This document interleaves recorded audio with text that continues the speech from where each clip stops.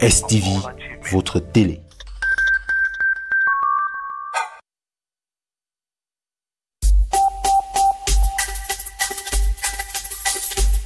La Tarbelle revient comme toujours aux jeunes.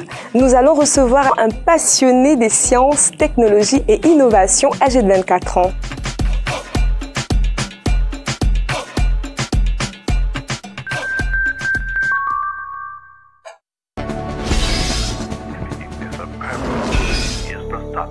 STV, votre télé.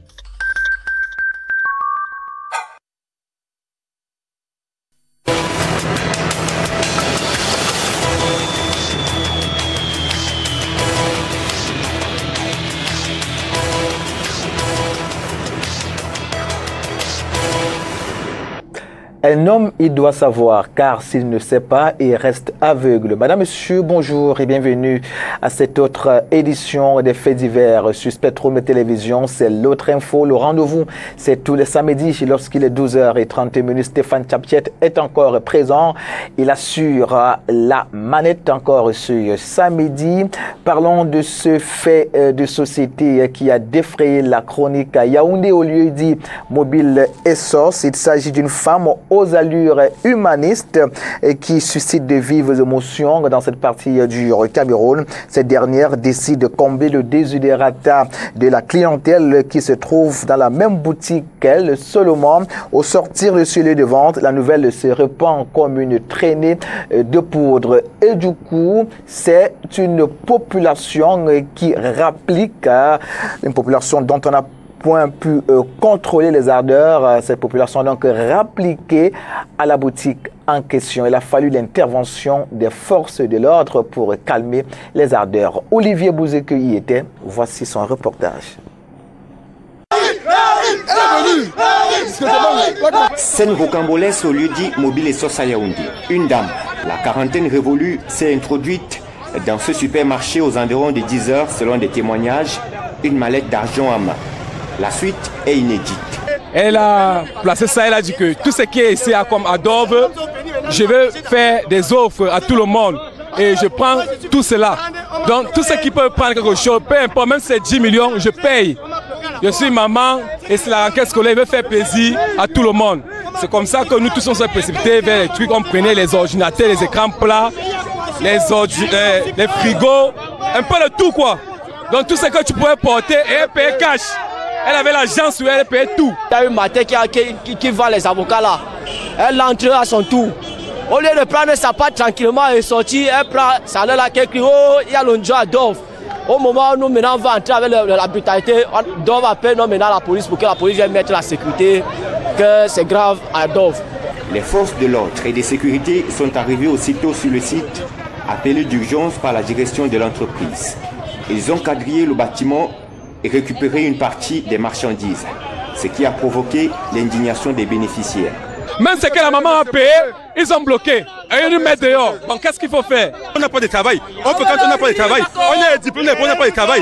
Donc s'il y a une âme de bonne volonté qui va nous partager un peu de son argent, c'est normal. C'est de bon, c'est de bon On ne peut pas les laisser partir avec? Ils vont nous donner l'argent là avant de partir. L'information a été relayée à travers les réseaux sociaux comme une traînée de poutres. Alertés, d'aucuns ont bravé des kilomètres en quête des billets de banque. On m'a appelé un frère en Concana qu'il y a une dame qui partage l'argent, les zéros. J'ai pris le dépôt pour venir sur le lieu. Parce que j'ai ma pas de problème que moi je venais ici pour ça. Je venais ici pour 3 millions. Je ne veux pas plus. 3 millions ma part. J'ai dit ma part. Quand je vais même si c'est l'argent de me donner seulement. J'ai déjà tant souffert. Je n'ai pas peur de la mort. De source officielle, la dame serait une déficiente mentale, l'argent, provenant des économies de son époux qui s'est présenté sur les lieux. Elle a été conduite dans un commissariat non divulgué le temps d'ouvrir une enquête. Le supermarché fermé jusqu'à nouvel ordre.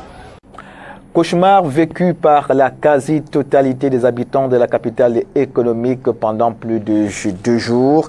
Il s'agit ici hein, d'une difficulté à se mouvoir dans la ville de Douala. Les populations ou alors les usagers de la route ne pouvaient point rallier les coins et recoins aussi bien à l'intérieur de la ville qu'à l'extérieur et pour cause l'affaissement de la buse qui se trouve au niveau de Yassa à la pénétrante est de la ville de Douala. Inès nous en dit davantage dans cet élément.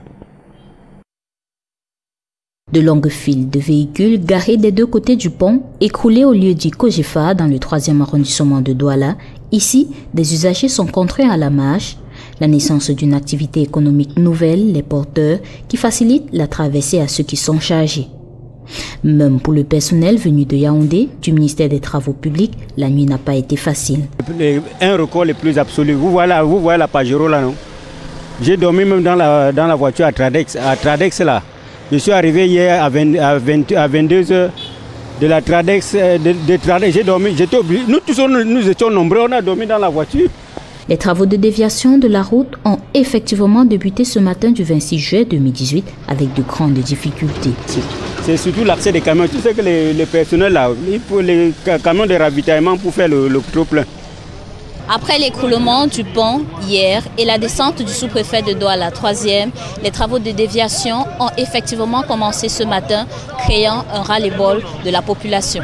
Depuis le pont s'est signalé, hein, on a mis la dalette. Tu me suis un peu? Après, maintenant, un taxi tombé dans l'eau aussi. Tu me suis, non? Ils ont encore monté la dalette. Après, ils ont fait le vaisseau gravé. Tu me suis? Ils ont laissé, ils ont le travail. Hier, maintenant, quand c'est encore tombé, quand le pont a fait un bum d'hier, maintenant, il y avait le commandant de brigade, il y avait le sous-préfet hier. On a engagé le travail aujourd'hui. C'est quel travail qu'il fait? Hein? Aujourd'hui, ils ont, ils ont, ils ont, ils ont, le, le, le, le caillou, monter ça pour commencer ça. Tu vois, pourtant, c'est un truc que je vais faire depuis, depuis, depuis. Tu vois un peu. Vous-même, vous-même, voyez, voyez, voyez vous-même. Et c'est ça, ça le travail là-bas. C'est pas le travail. Si on a déjà importé le stade, ça veut dire que nous aussi, on peut importer la route. Le goudron aussi, on peut importer. Nous, tout le Cameroun aime les choses importées. L'écoulement du pont serait lié à la saison de pluie en cours. C'est un problème d'entretien, non qu'il faut Tu sais qu'il y a parfois aussi les intempéries du temps aussi. Il y a aussi des intempéries du temps que même nous tous on ne peut pas tous maîtriser en tant que tel. Puisqu'il y a là dedans, il y a, il y a, plusieurs échelons. Oui. L'entreprise en charge de ce chantier de déviation explique la non-exécution du dit chantier à temps parce que la société en charge de la distribution de l'énergie électrique n'avait pas déplacé à temps ses câbles une raison non fondée pour cette société incriminée. In Kumba, in the southwest region of the country, rain stands as an enemy of progress. Since the beginning of the rainy season, life has become a nightmare for the Kumba dwellers. More in the following report. Though no serious damage has been experienced in Kumba like in other towns of the southwest region since the start of the raining season, movement and the smooth functioning of activities, on the other hand, have been affected as a result of the serious rain coupled with the bad nature of roads in the town. Small business operators have not been left out from the difficulties experienced during this period they noted that the sales of their products have witnessed a drop with the start of the rainy season. There is no road. People will come down this way, they will check, check, check, and come to Kuba come and buy and go back. The place is all, there is no road here, no road. Talking to some bike riders and truck pushers, they noted that measures have been put in place to enable them work during this period without any major problem. I work plenty of money. I used to work but 2,000 for one day. So now I work 3,000 francs. Then now? Now, now, I'm working about 500 francs now like this. The rich have, however, taken the option to stock their homes with food items in order to avoid going out when it rains. Meantime, the purchase of rubber shoes and umbrellas are in an increase as most inhabitants prefer to use them during this period. From Kumba to Limbe in the southwest region of the uh, country, death and serious injuries. This is what resulted from a landslide that occurred a few days ago in that part of the country. We have more in the following report.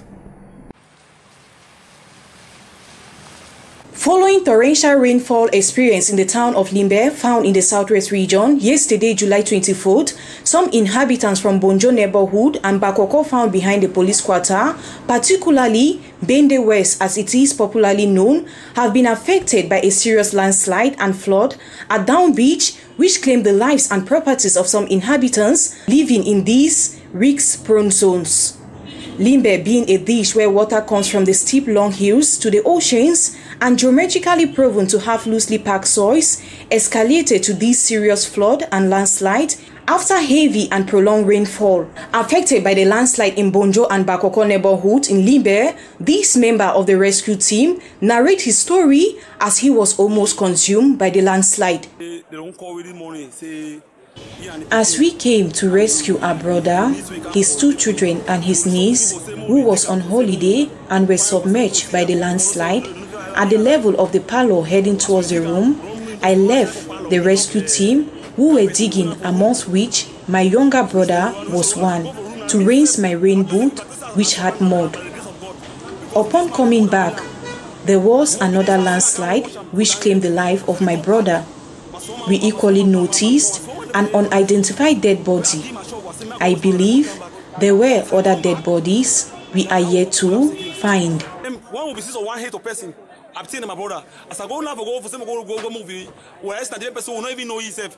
Present at the scene of the landslide, the government delegate to the Limbe City Council, Mr. Andrew Mutanga, said it was early to give an assessment of the damages incurred while highlighting the possible cause of the floods and landslide.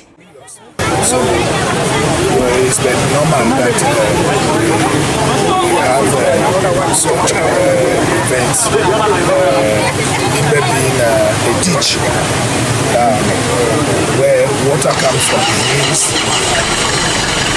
directing itself to the uh, Atlantic uh, Ocean. Uh, it's difficult to make an assessment. Maybe uh, by the end of the day we'll have a total assessment of what has been damaged and how far uh, things It should be noted that this is the most serious rainfall experienced by the population of Limbe since the start of the rainy season, whose main boulevard and other footpaths and roads at Down Beach, Limbe, were heavily flooded.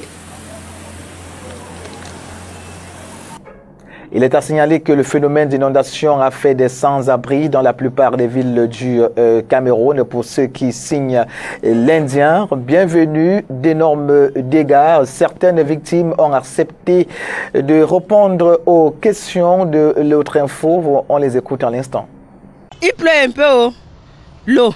Il ne pleut pas, oh. l'eau. On est comme ça avec les enfants dans l'eau. Et quand tu pleures comme ça, comment est-ce que vous faites avec les enfants? J'arrête. Voilà celle-là que j'ai en main. C'est son père qui enlève l'eau. Sa petite soeur met sur le lit. Le lit même, souvent l'eau arrive. On ramasse tout en haut. Ça ne va pas. Ça ne va pas, papa. Ça ne va pas ici. C'est la mort seulement. Est-ce que vous avez envisagé des solutions alternatives pour éviter Les solutions, quand on passe voir le chef du quartier, lui aussi, il part voir les, les grandes personnes. Le, le, on est parti chez le commandant mille fois. On ne comprend rien à ces solutions. Rien. Il n'y a même pas la solution. Alors qu'on vient nous aider, personne ne vient où? Personne. Oui, mais selon vous, qu'est-ce qui provoque cette situation? Ah, il n'y a pas les rigoles. Il n'y a pas la rigole, papa. Au moins, s'il y avait la rigole, l'eau descendait. Il n'y a pas la rigole. Il pleut l'eau comme ça dans le quartier. Alors, vous habitez ici depuis combien de temps? Je suis là, ça fait deux, deux ans. Ça part à trois ans. Trois ans que je suis là. Alors, vous êtes locataire ici? Oui, je suis locataire, papa. Locataire. On est locataire ici. Et quand vous arrivez là, on ne vous a pas dit que vous êtes en risque Non, on ne nous a pas dit. Mmh. Avant, c'était même pas comme ça quand on était arrivé. Depuis qu'on a fait la route ici. Oh, Papa God, ça n'est pas même pas. Ça ne marche pas. Ce n'est plus à dire. Vous-même, vous êtes sur le terrain, vous constatez ce que nous avons vécu, ce que nous sommes en train de vivre pour le moment, vraiment. Alors comment pensez Qu'est-ce que vous pensez faire? C'est tout, tout ce qu'on a à faire, c'est déménager. Parce qu'on ne peut plus continuer. C'est que nos enfants vont mourir dans l'eau. C'est grave. Même chez moi, là, les lits, tout, c'est à l'air. En ce moment, c'est plein, plein, plein, plein partout. Comme le pont est bouché là-bas, on n'a pas dégagé de puits. Tout est bouché, l'eau ne coule pas. C'est pour ça que nous sommes inondés comme ça. Qu'est-ce que vous faites quand c'est comme ça? Quand c'est comme ça, c'est ça qu'on monte sur les tables. On attend. Toutes les maisons, on est bloqué, on est dedans, on est bloqué, on ne peut, on ne peut, on ne peut rien, on ne peut rien. Tout est mouillé. Rien à récupérer. Hein? Maintenant tout est- c'est le gouvernement qu'on regarde, le délégué du gouvernement, qui arrange notre situation ici. Ce qui cause ça, c'est parce que les gens ne veulent pas respecter les, limites du, du drainage qui s'est passé la dernière fois. C'est que maintenant, pour, pour que le- le- l'eau doit circuler, il faut qu'on draine au moins un Bopi. En drainant Bopi et en respectant les limites de, de drainage, on n'aura plus de problème de- d'inondation. Même pour les femmes, même le canapé, tout, jusqu'au télé. Tout est parti. Qu'est-ce qui peut causer ça? C'est ça, c'est parce qu'il y a les voisins de loin qui jettent les saletés et de l'autre côté, ils veulent jeter les saletés. Ça vient se, se, se croiser ici. Et pour traverser euh, la culture, la plus est petite. Il y avait trois. On a fermé deux. On a fermé deux. C'est deux buts. C'est un problème de mentalité. Il faudra que la population, que les gens essayent un peu de, de- de- de s'a- de s'abstenir. L'eau est bloquée ici parce que les gens versent les ordures dans des rigoles. Les zones dans les rigoles, les troncs de bananiers, c'était à l'origine de, ce blocage, de cette bus. Et surtout que la, la bus qui est là, c'est les anciens bus des anciens temps. La bus est tellement réduite. Donc ce qu'il y a lieu de faire, il faudra qu'on essaie de sensibiliser la population, qu'ils essaient de déverser les ordures dans, dans caniveaux.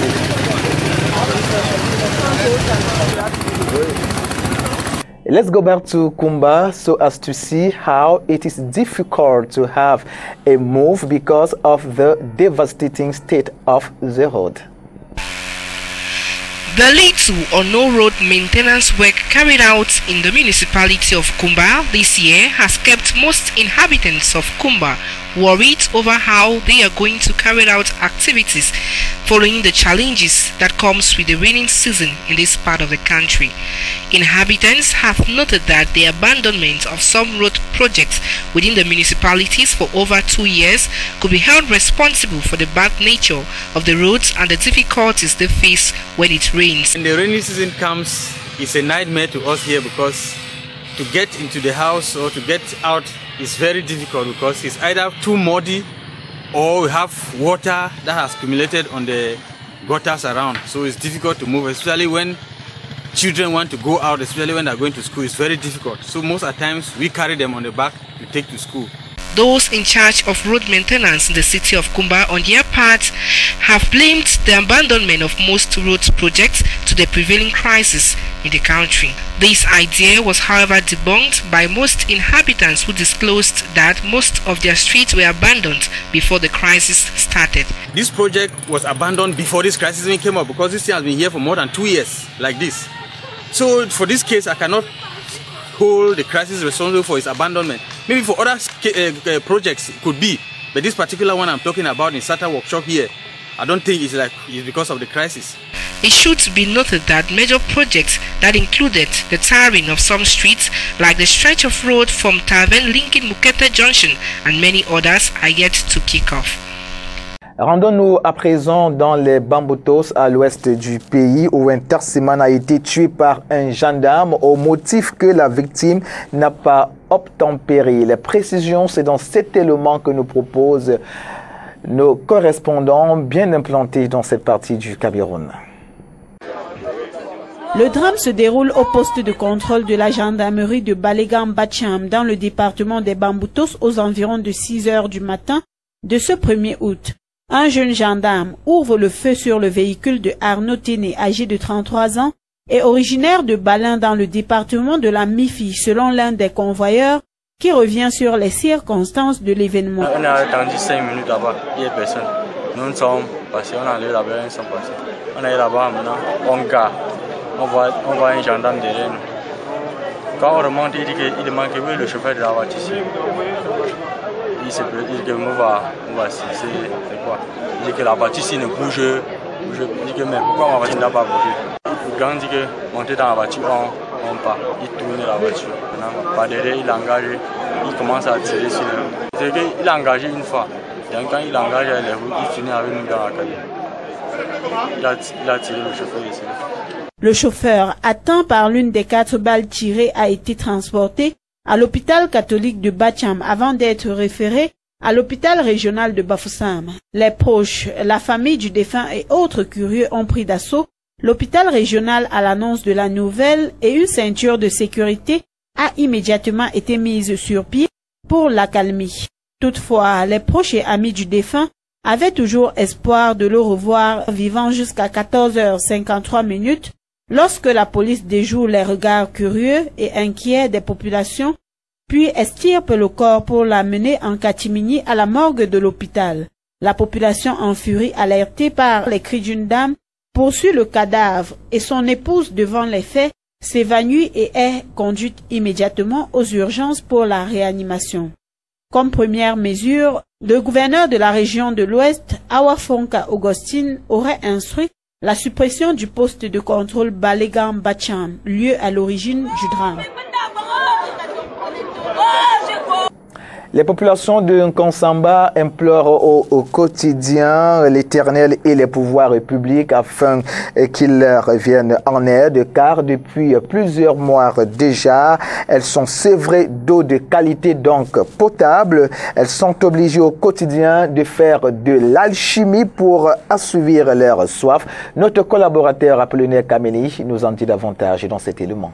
Comme ces enfants à la quête du précieux liquide incolore, inodore et sans saveur, nombreuses sont ces populations qui font face de manière journalière à l'épineux problème lié au manque d'eau potable dans les quartiers de la ville de Konsamba. Ce sont tous ces riverains de la ville de Konsamba qui sont aux abois suite à la pénurie d'eau dans les ménages depuis quelques mois déjà. Ce fait qui n'est pas nouveau dans la cité des Deux Monts a atteint un ampleur majeur ces dernières semaines.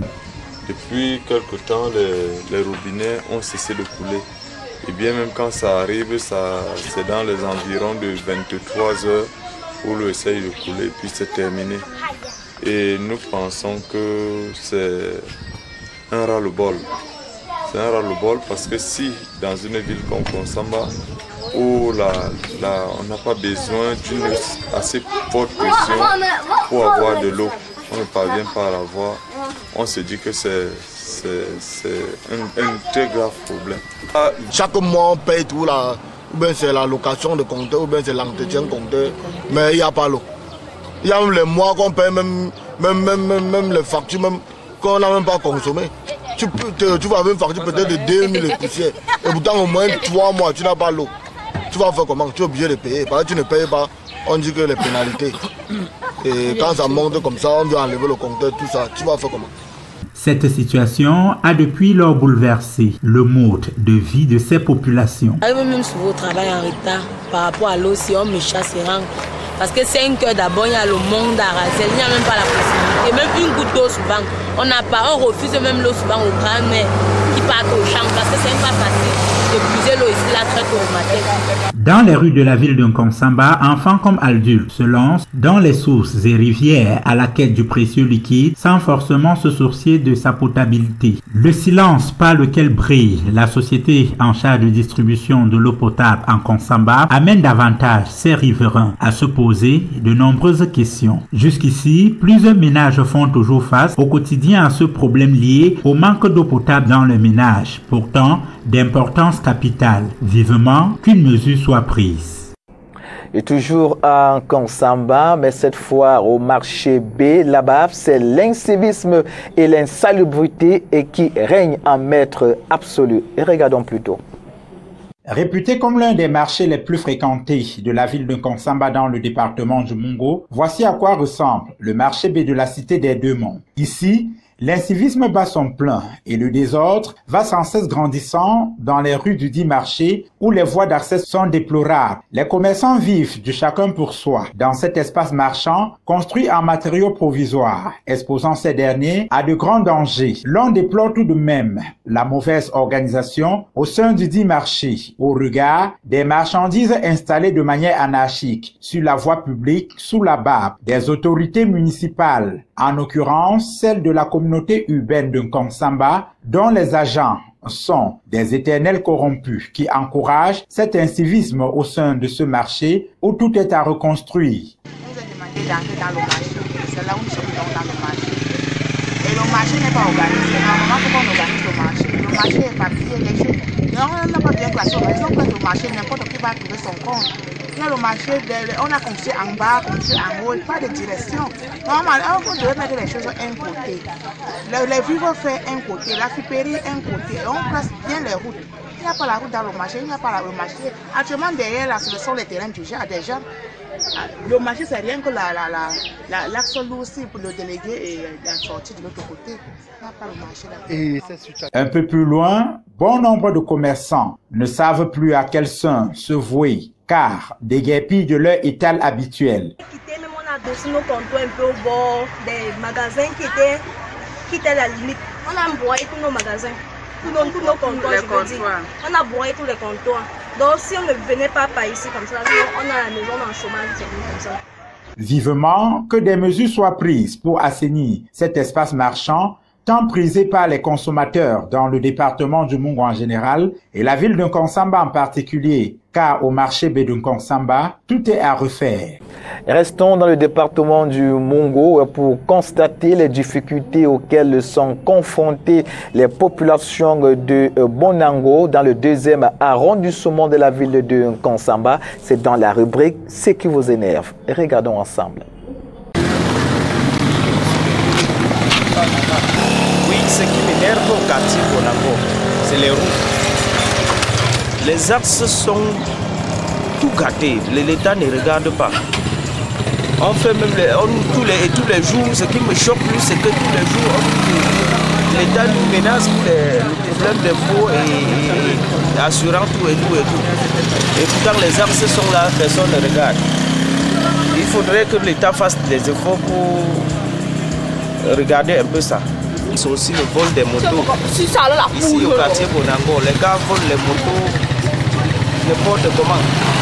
Tu gardes ta moto, tu peux même prendre une bière, on porte seulement. C'est ça qui me soit un peu choquant. Être au quartier Bonango, c'est. Il y a trop de bandits. Tu laves le Bernida, tu sèches. Plus tiens que tu sors, tu ne vois plus.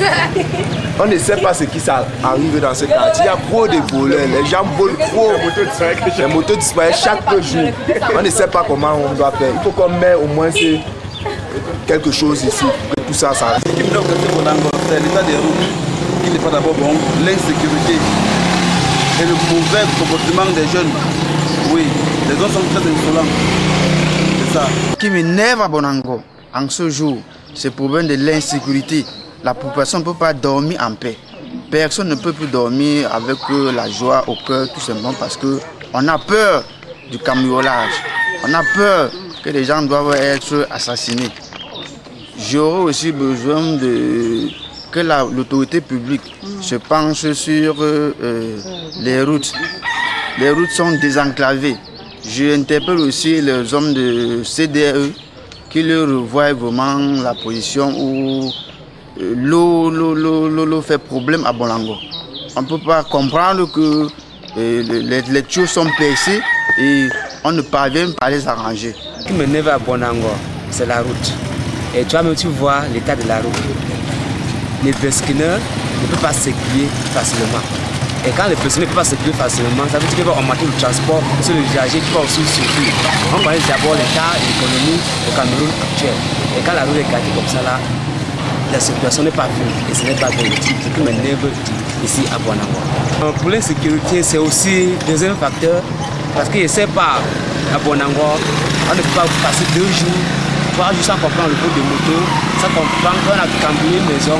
Et il y a tous les brigades, il y a les brigades à côté, il y a ça peut pomper, il y a le commissariat, je ne sais pas vraiment le travail de, sécurité, des, gens qui ont mis de, la sécurité dans, dans Bonango. C'est terminé pour l'autre info. On se donne rendez-vous samedi prochain sur la même chaîne de télévision à la même heure, donc à 12h30 Mesdames et messieurs, restez fidèles. Le programme se poursuit sur Spectrum Télévision. Au revoir.